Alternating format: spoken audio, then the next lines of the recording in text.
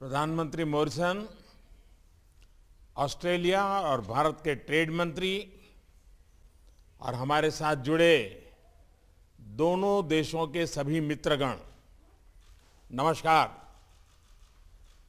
एक महीने से भी कम समय में आज मैं अपने मित्र स्कॉट के साथ तीसरी बार रूबरू हूँ। पिछले हफ़्ते हमारे बीच वर्चुअल समिट में बहुत प्रोडक्टिव चर्चा हुई थी। उस समय हमने अपनी टीम्स को economic cooperation and trade agreement पर बातचीत शीघ्र संपन्न करने का निर्देश दिया था।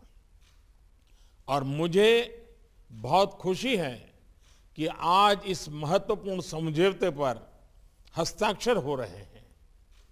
इस असाधारण उपलब्धि के लिए मैं दोनों देशों के ट्रेड मंत्रियों और उनके अधिकारियों का हार्दिक अभिनंदन करता हूँ। मैं ऑस्ट्रेलिया के पूर्व प्रधानमंत्री और वर्तमान में प्रधानमंत्री मॉरिसन के ट्रेड एनवॉय टॉनी एबर्ट का भी विशेष रूप से अभिनंदन करना चाहता हूँ। उनके प्रयासों से इस प्रक्रिया में तेज़ी आई। फ्रेंड्स, इतने कम समय में ऐसे महत्वपूर्ण एग्रीमेंट पर सहमति बनना यह दिखाता है कि दोनों देशों के बीच कितना आपसी विश्वास है। यह हमारे द्विपक्षीय रिश्तों के लिए सचमुच एक वाटरशेड मोमेंट है। हमारी अर्थव्यवस्थाओं के बीच एक दूसरे की आवश्यकताओं को पूरा करने का बहुत पोटेंशियल है। मुझे पूरा विश्वास है कि इस एग्रीमेंट से हम इन अवसरों का पूरा लाभ उठा पाएँगे। इस समझौते के आधार पर हम साथ मिलकर सप्लाई चेन्स की रेजिलियंस बढ़ाने और इंडो पैसिफिक क्षेत्र की स्टेबिलिटी में भी योगदान कर पाएँगे।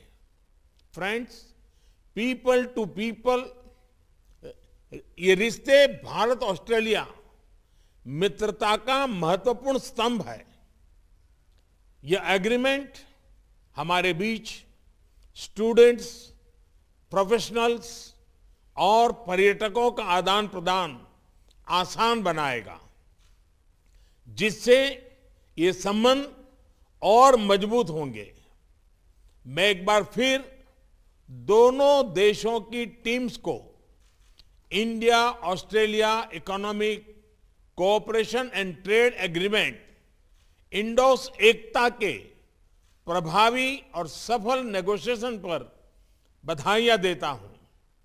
प्रधानमंत्री मॉरिसन को आज के आयोजन में शामिल होने के लिए मेरा हार्दिक धन्यवाद और ऑस्ट्रेलिया में आने वाले चुनावों के सफल आयोजन के लिए मेरी शुभकामनाएँ। और ऑस्ट्रेलिया की महिला क्रिकेट टीम को भी कल खेले जाने वाले विश्व कप फाइनल के लिए शुभकामनाएँ। नमस्कार।